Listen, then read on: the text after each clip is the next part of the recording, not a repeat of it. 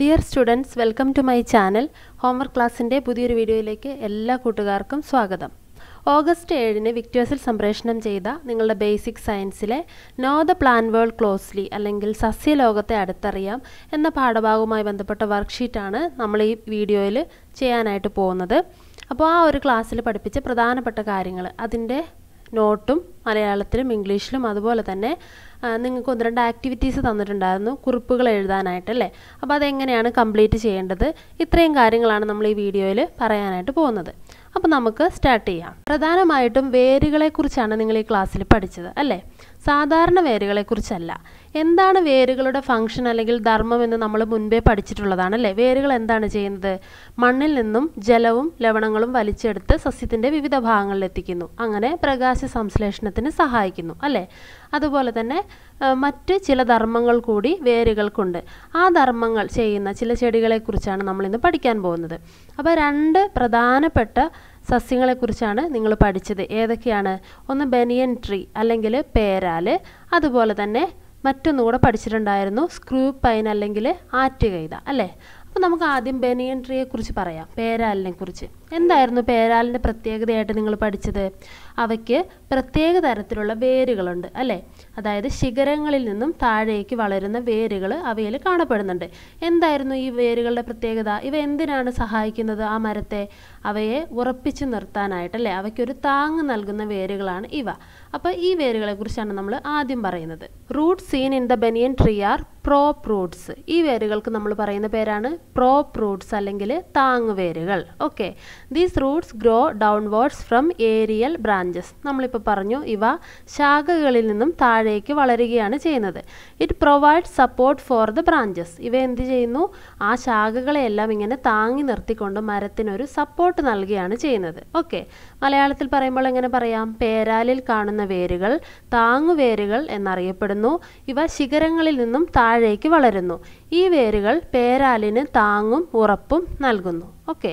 അപ്പോൾ ഇത്രയും കാര്യങ്ങളാണ് പേരാലിനെ കുറിച്ച് നിങ്ങൾ പഠിച്ചത് അല്ലേ? അങ്ങനെയാണെങ്കിൽ അടുത്ത സസ്യം ഏതായിരുന്നു? സ്ക്രൂ പൈൻ അല്ലെങ്കിൽ ആറ്റുകൈത. ഇവയ്ക്കും അതുപോലെ തന്നെയുള്ള വേരുകൾ കാണാൻ സാധിക്കുന്നുണ്ടല്ലേ പക്ഷെ അതിന്റെ ഒരു പ്രത്യേകത എന്താണ്? അത് ശിഖരങ്ങളിൽ നിന്നല്ല തുടങ്ങുന്നത് പിന്നെയോ അവയുടെ കാണ്ടത്തിൽ നിന്നാണ് തുടങ്ങുന്നത് അല്ലേ? ഇതും അതിനെന്തിനു വേണ്ടിയാണ് ഉപയോഗിക്കുന്നത്? അതിനൊരു താങ്ങ് നൽകുന്നതിന് വേണ്ടിയാണ് ഈ വേരുകളും സഹായിക്കുന്നത്. അപ്പോൾ അതിന്റെ പ്രധാനപ്പെട്ട പോയിന്റുകൾ ഇതൊക്കെയാണ്. Roots seen in the screw pine are stilt roots അവയെ നമ്മൾ പറയുന്ന പേരാണ് സ്റ്റിൽറ്റ് റൂട്ട്സ് ഓക്കെ സ്ക്രൂ പൈനിൽ കാണപ്പെടുന്ന വേരുകൾ. അവയെ പറയുന്ന പേരാണ് stilt roots these roots grow downward from stem അത് കാണ്ഡത്തിൽ നിന്നും താഴേക്ക് വളരുന്നു. It provide support for the screw pine അത് സ്ക്രൂ പൈനിന് സപ്പോർട്ട് നൽകുന്നു. മലയാളത്തിൽ പറയുമ്പോൾ ആറ്റുകൈതയിൽ കാണപ്പെടുന്ന വേരുകൾ പൊയ്ക്കാൽ വേരുകൾ എന്നറിയപ്പെടുന്നു. ഇവ കാണ്ഡത്തിൽ നിന്നും താഴേക്ക് വളരുന്നു. ഈ വേരുകൾ ആറ്റുകൈതയ്ക്ക് താങ്ങ് നൽകുന്നു. അല്ലെങ്കിൽ സംരക്ഷണം നൽകുന്നു. നിങ്ങൾക്കറിയാമോ ഈ ആറ്റുകൈത പ്രധാനമായിട്ടും കാണപ്പെടുന്നത് ഏതെങ്കിലും ജലാശയങ്ങളുടെ തീരത്തായിരിക്കും തോടിന്റെയോ അതുപോലെ തന്നെയുള്ള ജലാശയങ്ങളുടെ തീരങ്ങളിൽ. അപ്പോൾ അവയ്ക്ക് എന്തെങ്കിലും പെട്ടെന്ന് തന്നെ അവ മറിഞ്ഞു വീഴാനുള്ള സാധ്യത കൂടുതലാണ് അല്ലേ? അപ്പോൾ അതിന് പകരം അതിനെ സംരക്ഷിക്കാൻ വേണ്ടി അവയ്ക്കുള്ള വേരുകളാണ് ഈ പൊയ്ക്കാൽ വേരുകളെന്ന് അറിയപ്പെടുന്നത്. അപ്പോൾ ഈ രണ്ട് സസ്യങ്ങളിലും വേരുകളുടെ പ്രത്യേകത നിങ്ങൾക്ക് മനസ്സിലായല്ലോ അല്ലേ? രണ്ടും താങ്ങിന് വേണ്ടി തന്നെയാണ് സഹായിക്കുന്നത്. ഒന്നറിയപ്പെടുന്നത് താങ്ങ് വേരുകളെന്നും അടുത്തത് അറിയപ്പെടുന്നത് പൊയ്ക്കാൽ വേരുകളെന്നുമാണ്. ഓക്കെ. അങ്ങനെയാണെങ്കിൽ അടുത്തൊരു ടൈപ്പ് പ്ലാന്റ് കൂടെ ഉണ്ട്. എന്താണ്? മാംഗ്രൂവ്സ് അല്ലെങ്കിൽ കണ്ടൽ ചെടികൾ കണ്ടൽ ചെടികളുടെ വേരുകൾക്കും ഒരു പ്രത്യേകതയുണ്ട്. എന്താണ്? അതിനു മുൻപ് കണ്ടൽ ചെടികളുടെ ഏറ്റവും വലിയ പ്രത്യേകത അവ എവിടെ കാണപ്പെടുന്നു എന്നുള്ളതാണ്. ചതുപ്പ് പ്രദേശങ്ങളിൽ കാണപ്പെടുന്ന ചെടികളാണ് കണ്ടൽ ചെടികൾ. എന്താണ് ചതുപ്പ് പ്രദേശം എന്ന് പറഞ്ഞാൽ? ചെളി അടങ്ങിയിരിക്കുന്ന വെള്ളം അല്ലേ? ചെളിയോടുകൂടിയ വെള്ളം കെട്ടിക്കിടക്കുന്ന ഭാഗങ്ങൾ. അവയാണ് ചതുപ്പ് നിലങ്ങൾ. അവയിൽ കാണപ്പെടുന്ന ചെടികളാണ് കണ്ടൽ ചെടികൾ. ഇനി നിങ്ങൾക്ക് ഈ ചിത്രത്തിൽ കാണാം ഒരുപാട് മുകളിലേക്ക് വളർന്നു നിൽക്കുന്ന ഒരു ഭാഗം ആ ചെടിയുടെ. അത് അവയുടെ വേരുകളുടെ അഗ്രമാണ്. എന്തിനാണ് അവ ഇങ്ങനെ വളരുന്നത് മുകളിലേക്ക്? നിങ്ങൾക്ക് ഒരു പരീക്ഷണം കാണിച്ചു തന്നിട്ടുണ്ടായിരുന്നു ക്ലാസ്സിൽ അല്ലേ? എങ്ങനെയാണ് മണ്ണിൽ ഓക്സിജൻ അടങ്ങിയിരിക്കുന്നത് എന്നുള്ളത്. അപ്പോൾ നമുക്കറിയാം മണ്ണിൽ ഓക്സിജൻ ഉണ്ട്. ആ ഓക്സിജനാണ് സസ്യങ്ങൾ സാധാരണ അവ ശ്വസിക്കുന്നത്. പക്ഷേ കണ്ടൽ ചെടികൾക്ക് ഇത്തരത്തിലുള്ള ഓക്സിജൻ കിട്ടാൻ ബുദ്ധിമുട്ടാണ്. കാരണം അവ ചെളിയോടുകൂടിയ പ്രദേശങ്ങളിലാണ് നിൽക്കുന്നത്. അവിടെ ഓക്സിജൻ ഉണ്ടാവുകയില്ല. അപ്പോൾ അവ എന്ത് ചെയ്യുന്നു? അന്തരീക്ഷത്തിൽ നിന്നും ഓക്സിജൻ വലിച്ചെടുക്കുന്നു. അതിനു വേണ്ടിയാണ് അവയുടെ വേരുകൾ ഇങ്ങനെ മുകളിലേക്ക് വളരുന്നത്. ഓക്കെ. അപ്പോൾ നമുക്കിതിലെ പ്രധാന പോയിന്റുകൾ നോക്കാം. Mangroves are special kinds of plants growing in marshy areas ചതുപ്പ് നിലങ്ങൾ അല്ലെങ്കിൽ മാഷി ഏരിയാസിൽ കാണപ്പെടുന്ന പ്രത്യേകതരം ചെടികളാണ് mangroves the tip of their roots grow towards the atmosphere അവയുടെ വേരിന്റെ അറ്റം അറ്റ്മോസ്ഫിയറിലേക്ക് വളരുന്നു. These roots that help in gaseous exchange are called pneumatophores ഇത്തരത്തിലുള്ള വേരുകളെ നമ്മൾ പറയുന്ന പേരാണ് ന്യൂമാറ്റോഫോർസ് അതെന്തിനാണ് സഹായിക്കുന്നത്? ഗ്യാഷ്യസ് എക്സ്ചേഞ്ച് അല്ലേ? വാതക വിനിമയം. അതാണ് ഇപ്പോൾ നമ്മൾ പറഞ്ഞത്. അവ ശ്വസനത്തിന് വേണ്ടിയാണ് സഹായിക്കുന്നത്. അതുകൊണ്ട് തന്നെ അവ എന്താ എന്ത് എന്താണെന്നാണ് അറിയപ്പെടുന്നത്? ന്യൂമാറ്റോഫോർസ് എന്ന് അറിയപ്പെടുന്നു. അപ്പോൾ മലയാളത്തിൽ പറയുമ്പോൾ ചതുപ്പ് നിലങ്ങളിൽ വളരുന്ന പ്രത്യേകതരം സസ്യങ്ങളാണ് കണ്ടൽ ചെടികൾ. ഇവയുടെ വേരിന്റെ അറ്റം അന്തരീക്ഷത്തിലേക്ക് വളർന്നു നിൽക്കുന്നു. വാതക വിനിമയത്തിന് സഹായിക്കുന്ന ഇത്തരം വേരുകൾ ശ്വസന വേരുകൾ എന്ന് അറിയപ്പെടുന്നു. മനസ്സിലായോ? അപ്പോൾ ഈ വേരുകളുടെ പേരെന്താണ്? ന്യൂമാറ്റോ ഫോർസ് അല്ലെങ്കിൽ ശ്വസന വേരുകൾ. എന്തിനാണ് ഇവ സഹായിക്കുന്നത്? വാതക വിനിമയത്തിന് അല്ലേ? അല്ലെങ്കിൽ ഗ്യാഷ്യസ് എക്സ്ചേഞ്ച് അപ്പോൾ ഇവ കണ്ടൽ ചെടികളിൽ കാണപ്പെടുന്നു. കണ്ടൽ ചെടികൾ എവിടെയാണ് വളരുന്നത്? ചതുപ്പ് നിലങ്ങളിലാണ് വളരുന്നത് അല്ലേ? ഇത്രയും കാര്യങ്ങളാണ് നിങ്ങൾ ഈ ക്ലാസ്സിൽ പഠിച്ച പ്രധാനപ്പെട്ട കാര്യങ്ങൾ. ഇനി നിങ്ങൾ ചെയ്യേണ്ട ആക്ടിവിറ്റീസ് എന്തൊക്കെയായിരുന്നു നമുക്ക് നോക്കാം. നിങ്ങൾക്ക് ടീച്ചർ ഒരു ചിത്രം കാണിച്ചു തന്നിട്ടുണ്ടായിരുന്നു അല്ലേ? ആരാണ്? കല്ലേൻ പൊക്കുടൻ എന്ന് പറഞ്ഞ ഒരാളുടെ ചിത്രമാണ് ഇന്ന് കാണിച്ചു തന്നത്. നിങ്ങളോട് പറഞ്ഞു ഇദ്ദേഹം ആരാണെന്നും അദ്ദേഹത്തിന്റെ പ്രവർത്തനങ്ങളൊക്കെ കണ്ടെത്തി ഒരു കുറിപ്പ് തയ്യാറാക്കാനായിട്ട് പറഞ്ഞിട്ടുണ്ടായിരുന്നു. അതാണ് നമ്മൾ ആദ്യം ചെയ്യാനായിട്ട് പോകുന്നത്. ഇദ്ദേഹത്തെക്കുറിച്ചുള്ള കുറച്ച് കാര്യങ്ങളാണ് ഞാൻ നിങ്ങൾക്ക് ആദ്യം പറഞ്ഞു തരുന്നത്. കല്ലേൻ പൊക്കുടൻ ഒരു ഇന്ത്യൻ പരിസ്ഥിതി പ്രവർത്തകനും എഴുത്തുകാരനും ആയിരുന്നു. ഓക്കെ. അപ്പം കേരളത്തിൽ ഉള്ള ജീവിച്ചിരുന്ന ഒരു പരിസ്ഥിതി പ്രവർത്തകനും എഴുത്തുകാരനുമായിരുന്നു അദ്ദേഹം. അദ്ദേഹം അറിയപ്പെട്ടിരുന്നത് കണ്ടൽ പൊക്കുടൻ എന്നാണ്. കണ്ടൽ പൊക്കുടൻ എന്നാണ് അദ്ദേഹം അറിയപ്പെട്ടിരുന്നത്. എന്തായിരിക്കും? അപ്പോൾ കണ്ടൽ പൊക്കുടൻ എന്ന് കേൾക്കുമ്പോൾ തന്നെ നിങ്ങൾക്കറിയാം കണ്ടൽ കാടുകളുടെ പ്രവർത്തനങ്ങളുമായി ബന്ധപ്പെട്ട് അദ്ദേഹം എന്തൊക്കെയോ ചെയ്തിട്ടുണ്ട് അല്ലേ? എന്തൊക്കെയാന്ന് നമുക്കിനി നോക്കാം. ആയിരത്തി തൊള്ളായിരത്തി മുപ്പത്തിയേഴിൽ ഇടുക്കി ജില്ലയിലായിരുന്നു അദ്ദേഹത്തിന്റെ ജനനം. കണ്ടൽ കാടുകളുടെ വ്യാപനത്തിനും സംരക്ഷണത്തിനും വേണ്ടി നടത്തിയ പ്രവർത്തനങ്ങളാണ് അദ്ദേഹത്തെ പ്രശസ്തനാക്കിയത്. മനസ്സിലായോ? അപ്പോൾ അദ്ദേഹം കണ്ടൽ കാടുകൾ സംരക്ഷിക്കണമെന്നും അതുപോലെ തന്നെ കൂടുതൽ കണ്ടൽ കാടുകൾ നമ്മൾ വെച്ച് പിടിപ്പിക്കണം അല്ലെങ്കിൽ അതിന്റെ വളർച്ചയ്ക്ക് സഹായിക്കണം എന്നുമുള്ള കാര്യങ്ങൾ അത്തരത്തിലുള്ള പ്രവർത്തനങ്ങളിൽ ഏർപ്പെട്ടു. അതാണ് അദ്ദേഹത്തിനെ പ്രശസ്തനാക്കിയത്.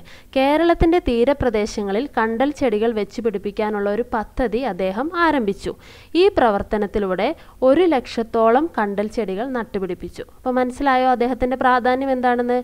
കേരളത്തിലുടനീളം ഒരു ലക്ഷത്തോളം കണ്ടൽ ചെടികളാണ് അദ്ദേഹം നട്ടുപിടിപ്പിച്ചത്. അതിനുള്ള ഒരു പദ്ധതിയും അദ്ദേഹം രൂപം കൊടുത്തു.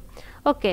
ബാക്കി കാര്യങ്ങൾ എന്തൊക്കെയാണെന്ന് നോക്കാം. അദ്ദേഹത്തിന്റെ സംരംഭമായ കണ്ടൽ സ്കൂളിലൂടെ കേരളത്തിലുടനീളം അഞ്ഞൂറ് ക്ലാസുകൾ സംഘടിപ്പിച്ചുകൊണ്ട് കണ്ടൽ കാടുകളുടെ പ്രാധാന്യത്തെക്കുറിച്ച് മറ്റുള്ളവരെ ബോധവാന്മാരാക്കാൻ ശ്രമിച്ചു. ഓക്കെ. അദ്ദേഹത്തിന്റെ ഒരു സംരംഭമായിരുന്നു കണ്ടൽ സ്കൂൾ അല്ലെങ്കിൽ മാംഗ്രൂവ് സ്കൂൾ എന്ന് പറയും. അതിലൂടെ അദ്ദേഹം കേരളത്തിലുടനീളം ക്ലാസ്സുകൾ സംഘടിപ്പിച്ചു. അഞ്ഞൂറോളം ക്ലാസ്സുകൾ നടത്തിയെന്നാണ് പറയുന്നത്. എന്നിട്ട് മറ്റുള്ളവരെ ഈ ഒരു കണ്ടൽക്കാടിന്റെ പ്രാധാന്യത്തെക്കുറിച്ച് മനസ്സിലാക്കാനായിട്ടുള്ള ശ്രമങ്ങൾ അദ്ദേഹം ചെയ്തു. അദ്ദേഹത്തിന്റെ ജീവിതത്തെ ആധാരമാക്കി രണ്ടായിരത്തി പതിനൊന്നിൽ നിർമ്മിച്ച ചലച്ചിത്രമാണ് Sthalam. Okay Thampi memorial award Vanamitra award Haritha Vyakthi award തുടങ്ങിയവ അദ്ദേഹത്തിന് ലഭിച്ച പുരസ്കാരങ്ങളാണ്. ഇതെല്ലാം അദ്ദേഹത്തിന് ലഭിച്ച അവാർഡുകളാണ് അദ്ദേഹത്തിന്റെ പ്രവർത്തനങ്ങൾക്ക്. കണ്ടൽ കാടുകൾക്കിടയിൽ എന്റെ ജീവിതം കണ്ടൽ ഇനങ്ങൾ തുടങ്ങിയവ അദ്ദേഹത്തിന്റെ പുസ്തകങ്ങളാണ്. നമ്മൾ പറഞ്ഞിട്ടുണ്ടായിരുന്നു അദ്ദേഹം ഒരു എഴുത്തുകാരനായിരുന്നു എന്നല്ലേ? അദ്ദേഹത്തിന് ഒരുപാട് വിദ്യാഭ്യാസമൊന്നും ഉണ്ടായിരുന്ന ആളായിരുന്നില്ല. എങ്കിലും അദ്ദേഹം പുസ്തകങ്ങളൊക്കെ രചിച്ചിരുന്നു.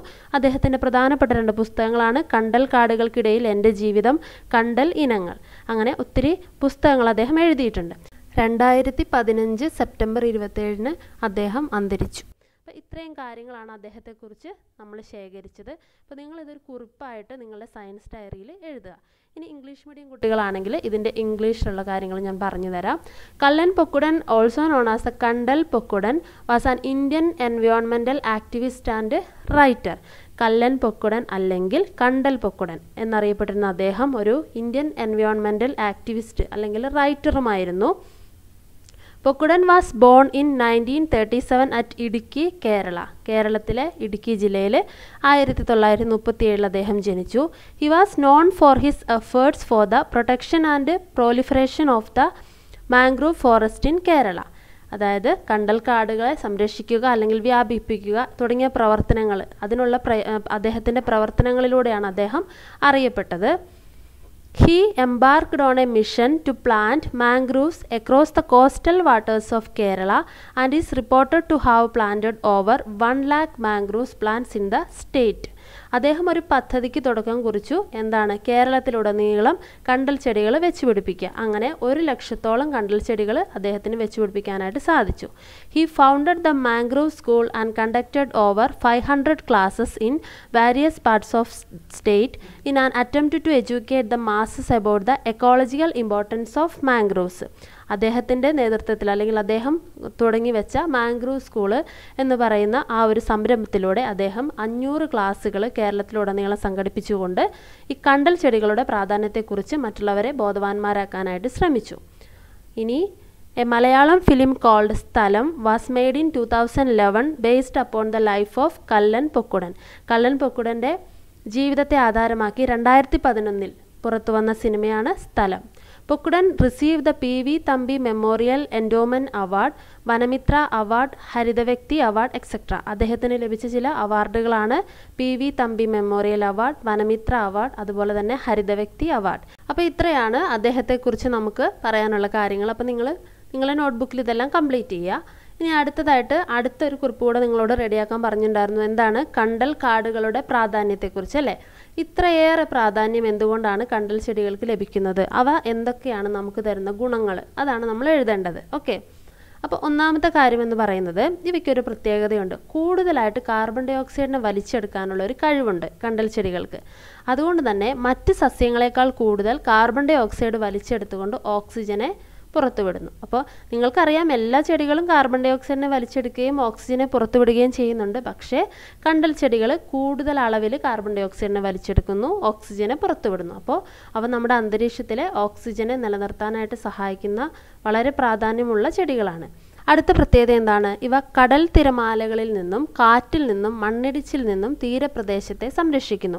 നമ്മൾ പറഞ്ഞു ഇവ കാണപ്പെടുന്നത് കോസ്റ്റൽ ഏരിയാസിലാണ് അല്ലെങ്കിൽ തീരപ്രദേശങ്ങളിലാണെന്നല്ലേ അപ്പോൾ അവിടെ കടൽ തിരമാലകളുടെ ആക്രമണം ഉണ്ടാകും അല്ലെങ്കിൽ കാറ്റുണ്ടാകും മണ്ണിടിച്ചിലുണ്ടാകാം ഇതിൽ നിന്നൊക്കെ ആ ഭാഗങ്ങളെ സംരക്ഷിക്കാനുള്ള കഴിവ് കണ്ടൽ കാടുകൾക്കുണ്ട് പിന്നെ അടുത്തത് എന്താണ് വിവിധ ജീവജാലങ്ങൾക്ക് നല്ല ഒരു ആവാസ വ്യവസ്ഥയാണ് കണ്ടൽക്കാടുകൾ. അതായത് കണ്ടൽ ചെടികൾ കാണപ്പെടുന്ന ഭാഗങ്ങളിൽ ഒരുപാട് ജീവികൾ വളരുന്നുണ്ട്.